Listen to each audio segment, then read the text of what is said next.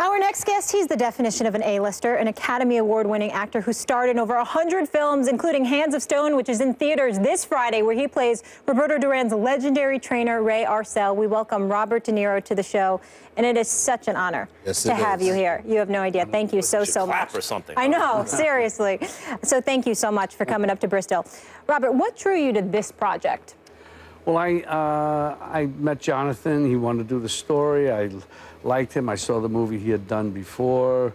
Um, and uh, I, just got involved, and, and uh, that was it. You know, I, uh, and, and, it took a long time to get the movie made because it was it was supposed to be done in Puerto Rico with money from the Middle East, and that all fell through. So then I said, why don't you just call the Panamanian, get in touch with the Panamanian government, tell them you have uh, you have Duran behind the project, let them get some well-to-do Panamanians, give them tax breaks and let them put money into da da da. So that's what they did, and that's how, how it should have been, really. The, the location, the whole thing, the actual gym where Duran trained, uh, Edgar Ramirez uh, trained there, and we shot scenes there.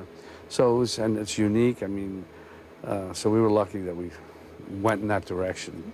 What was the hook of Ray Arcel, the character of Ray Arcel for you? Well, he, he wasn't uh, the usual trainer. Uh, he was more like an intellectual. He was more cerebral. He had heart, but I mean, he was just a, a guy who I, I met him once, maybe twice, when I was working on Raging Bull, and uh, I was impressed with his the way he just carried himself. The whole thing it was not like, uh, not as I say, like a typical trainer that I've seen, and um, he had a, he had over 20. Um, champions. Uh, and so it was uh, something that I wanted to do. You know? I'm easy to decide that. I'm looking at your career, and uh, it's it's it's amazing. I've always obviously been an incredible fan, and you've been acting since the early '60s for crying out loud. I, I'm wondering what keeps you going, what excites you in this day and age about doing what you do. I, I, enjoy, you know, sometimes at the beginning you, you, don't, you don't want to get up to, you get up to speed, but I felt that way 30 years ago with certain movies. And then once I'm in it, I'm in it, you know. You do, you're in it, and you want, you want the thing to be as good as it can be, uh, the scene, and, and so uh, that's, that's, that's it. Is there anything that you pinpoint from your acting at this stage and point in your career that you know you say this is why I get up and do this every day. This is what's what, what do you find most enjoyable about what you're doing right now? Well, if I if the scene is well written or even if it's or if it's well conceived and we're working it through even if all the dialogue is not totally written out yet and the director understands that uh, it's, you know, and the, the, the, nicest thing is to see that the scene ultimately works after you've shot it and it's been put together.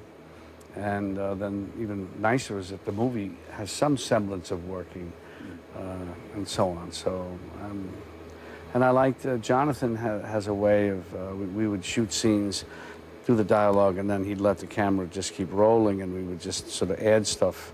But that's kind of like a gravy situation, and something could come out of that, which would be good. And it gives you a certain freedom, uh, and you can always cut it out or what, use a part of what do you think it is about you that, I mean, I, I remember a movie with Meryl Streep, I think it was called Falling in Love. Yes. But, yeah. and, and, and 19, Bertolucci's 1900, you weren't playing tough guys in those movies. No. So it's not that you only play tough guys, but a lot of the roles that you're most well known for are tough guys. Mm -hmm. Raging Bull, Goodfellas, Godfather Part 2. What is it, Once Upon a Time in America? What, what is it about you, do you think, that gets you cast as the, that, that or leads you to those roles even? I don't know. I mean, I guess uh, in some ways I, I do them well with, with, with zest, but they're fun to do. I like them. Um, we're doing a similar movie, uh, a similar, like a, uh, uh, Scorsese and I, um, based on a book called I Heard You Paint Houses. I mean, now it's titled The Irishman. I don't know what it'll finally be titled as. But uh, again, it's that world, but I'm, it's a world that uh, I like uh, doing from time to time. And, uh, Robert, I don't know if you know this, um, but you have an actor sitting right next oh, to you. Lord. I know. He's starring in so he hasn't made it to blockbuster films yet. Please don't do this but to he, me. he is at soap operas, General oh. Hospital. He has, He's he has acted a in recurring movies, role. Um, I, I, we just want to show you a little bit of a clip of this and kind of kind of get your thoughts here. If you could break it down, because Stephen A. has really embraced this this new career path. Um, if you could just see this right here. Oh Lord. It's Stephen A. as Brick. We don't have the sound of it, but if you could just, even just looking at the body language expressions, what, what is What? it? What exactly are you playing? I, I don't need. I'm, I'm playing a character by the name of Brick. I'm a surveillance expert for the mob, Mr. De Niro. Any Oh, okay. tips? That's what Any I tips am. for him? I don't know why we don't have the sound, but that's neither here nor there. I'm glad we don't because it would give me more room to be critiqued. I don't need any more.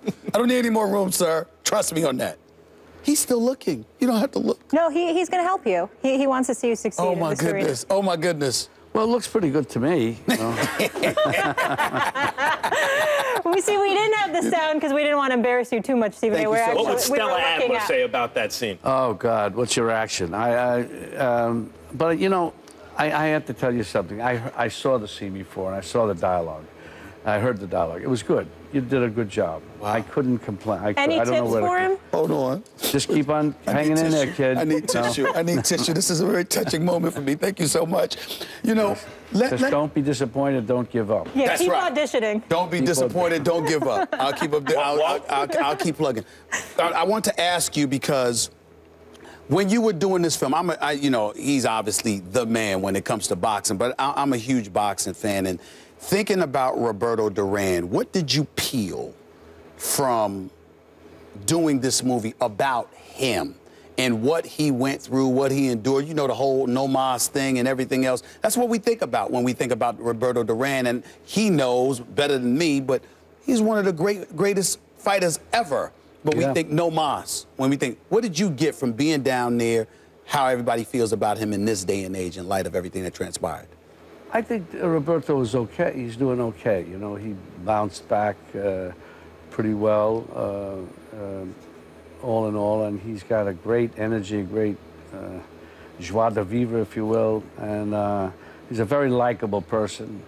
And um, you know, it was something that happened, unfortunate as it was. Uh, but you know, his life, I think, has been full, and everybody still respects him as a great fighter.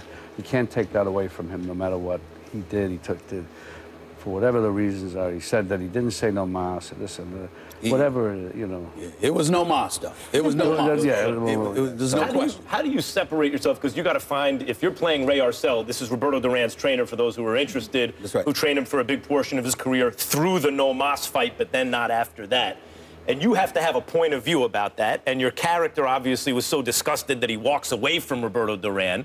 And this is a guy who, who I I don't want to give too much of the movie away. It's Right. based on a true story, but you know, went up against the mob in a, in a, in a sense years before he had he had uh, uh, handled Duran. How do you aff- like? How does that affect your own judgment of Roberto Duran when you're playing a character who has such a strong point of view, and you got to find that as an actor, I imagine. Say that, Like, like, so, so, so, how do you feel about Duran? Does it color the way you feel about it because you're playing a guy who felt so strongly about No Mas? No, I mean I'm playing a character, I'm, and I'm taking Ray Arcel's position, which I certainly there are many parts of me that can understand his position, and uh, plus uh, he, he's a great character, one that it's easy to respect uh, and like. So um, that was, uh, and and also feel the disappointment that when uh, uh, Duran did say or did walk away from the fight, you know, it's uh, it was a a, a, devastating thing for him. Um, but it doesn't take away how much he cared about Duran and how much Duran cared about him and everything else, the Right. respect he had for Duran. I want to ask you, Usher's in this film, obviously, and fabulous music artist. As a person that has obviously perfected your craft and is considered one of the elite in this industry, what are your thoughts about whether it's a musician, whether it's, you know, an athlete, whether it's it's it's a dag on talk show host, trying to do the kind of things that you guys do as actors. As, as an elite actor, what, what is an actor's opinion about those trying to come into your genre?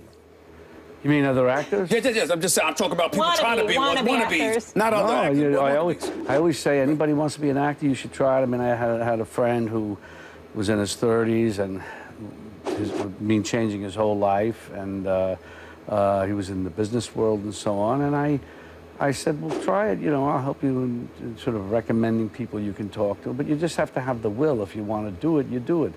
Yeah, in, in, in, a real sense, you get little parts and, you know, mm-hmm. around your actual day job, you know, a, night thing or an off, off, off Broadway type thing. You do it if you really want to do it. If you're not sure, if you think you're going to become successful at it, you're going to get, get a career out of it, then don't do it. That's you know, right. That's, a, that's, that happens if you're lucky, but don't do it for those reasons. Do it because you enjoy it. Mm. Yeah. That's all that you can get. I can only imagine the grind and commitment to be successful in uh, that field and level yeah. competition. Robert De Niro, this was such a treat. Been Thank you so much. I'm sure you love being here in Bristol, Connecticut, but, but we appreciate you. Hands of Stone in theaters Friday. We will be checking it out, so we look forward to that. Enjoy your time here. Thank you. Thank you. When we come back, Josh Norman, he's never been too shy to speak his mind. Now he's going off on the commissioner, Roger Goodell. Did he step out of bounds this time? We react next. It's the real ones got you knowing the percent. It's lit.